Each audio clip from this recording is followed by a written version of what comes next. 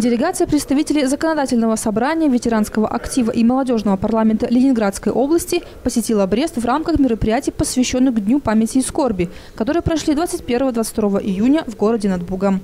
Не только историческое прошлое, но и стремление к налаживанию дипломатического диалога объединяет интересы двух пограничных городов.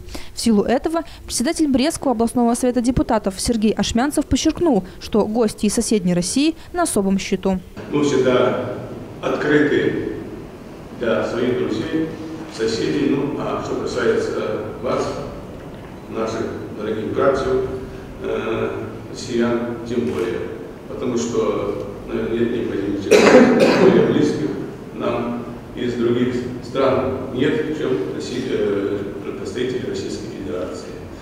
Вот. Поэтому мы всегда рады встрече и надеюсь, что и сегодняшняя наша встреча таком узком кругу ну, позволит в дальнейшем как-то более тесному сотрудничеству между Брестской и Ленинградской областями. Гости северной столицы России, как и представители других иностранных делегаций, были приятно удивлены чистотой и порядком, который царит на дорогах и улицах Бреста.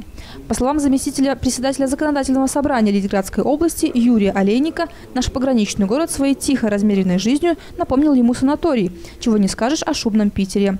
Однако самое большое впечатление на представителей Ленинградской области произвела, конечно, масштабная программа Дня памяти и скорби, а также реконструкция первого дня Великой Отечественной. Кроме культурного аспекта, питерских гостей привлекает возможность сотрудничества в области экономики и образования.